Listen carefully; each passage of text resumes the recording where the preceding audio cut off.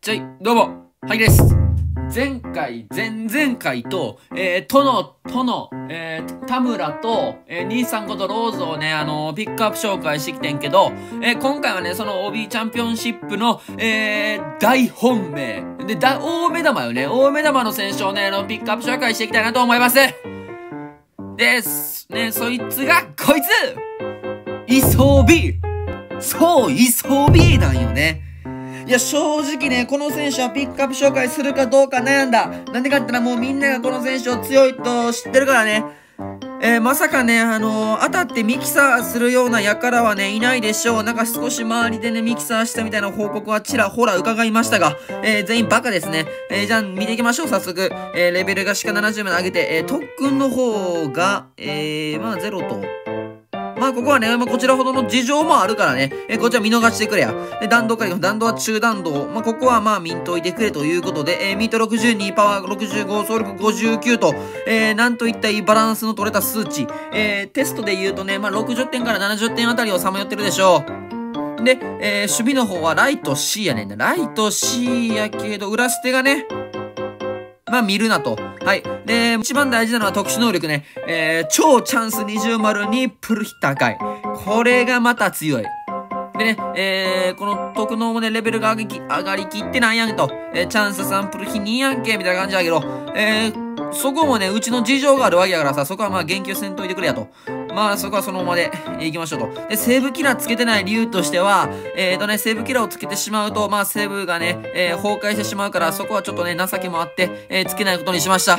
えー、それじゃあね、え、このイソ B の強さをね、もっとみんなに知ってもらいたいねんけど、え、実はこのイソ B、写真変更できるんよな。この、えー、に、この写真は確か2018年のね、あの、OB3 段かな ?2 年前の OB3 段、あの、お正月の時にね、えっ、ー、とね、えー、大目玉として、大、落合、磯部と、この三大巨頭がね、大目玉としてなって、うちのこの磯部をぶち抜いたと、えー、そういう、いった次第でございますわ。ってことは2年ぶりにまた当たってきやがったってことはね、当たってきやがったじゃないね、えー、当たってくれたという感じですわ。で、今日はこいつを使っていくねんけど、まあ、オーダーはね、普通の12球団オーダーでいきたいな。お前、吉田正尚、お前何してんの？お前、磯 B 様のポジション取るなえー、ということでね、えー、磯 B はね、ここでいきたいと。えー、ライトにして、えー、打順の方はね、えー、3番に配置しております。まあ1番殿にして、最近1番殿が結構いい感じにハマってるので、やっぱ1番殿、ニブラヒモビッチからで、ここで類を止めて、えー、3番イソビーと。だここ3番イソビーにすることによって、この1、2番が類に出て、イソビーのチャンス20丸を発動して、えー、ライトスタンドにぶち込んでいくと。そういった流れでいきたいと思います。それじゃあ、行きましょうよし、じゃあやっていくか。とりあえずね、えー、相手のピッチャーはまあまあ菅野、弱い菅野やと思うから、それをしっかりとね、えー、1番と2番が、えー、塁に出て、えー、磯 B でぶちかましていきたいというふうに思いますわ。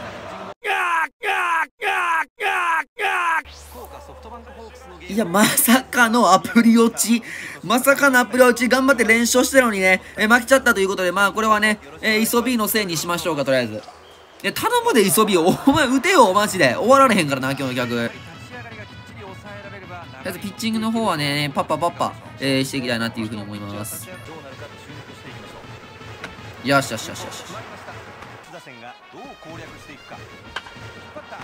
よしよしよしよしよしよしいい感じ。よし、じゃあやっていくか。1番、殿。あ、森下か。森下の変化球だけちょっと見させてな。ああ、弱いな。いける。殿がね、1番殿が結構ね、いいんよね。ちょっと見てほしい、みんなに。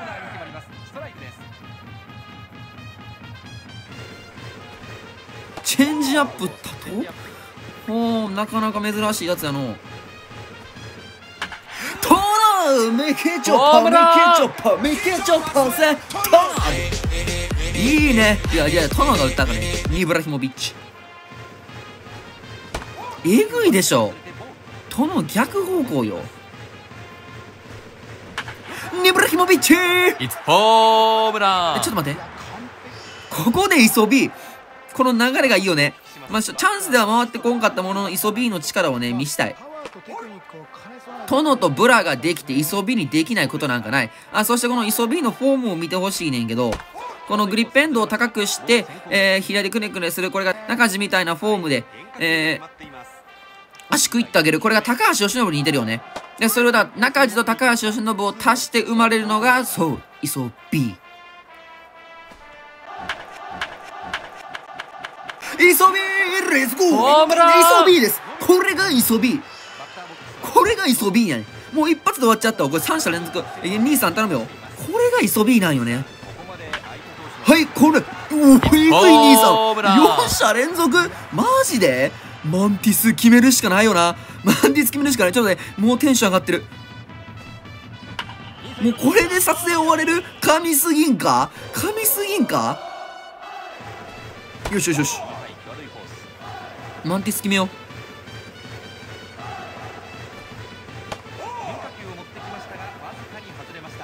絶対これで終わる。くっ